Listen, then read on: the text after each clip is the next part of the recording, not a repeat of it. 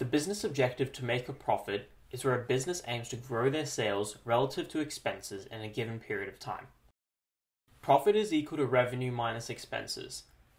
Businesses aim to maximize the amount of revenue earned whilst minimizing the amount of expenses or costs incurred.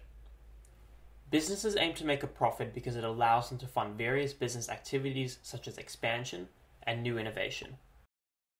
There are two main strategies which businesses use to achieve the objective to make a profit. The first is implementing promotion strategies, such as advertising on billboards, TV, and radio. This serves to generate awareness for a business's brand, which can lead to greater purchasing of a business's product. And so, greater amounts of revenue can be generated relative to expenses in a given period of time. The second strategy is implementing technology. This is a cost cutting measure which serves to improve the speed and volume of the production process. As a result, operational expenses will be reduced because the cost per unit of manufacturing decreases, therefore, reducing expenses relative to revenue in a given period of time.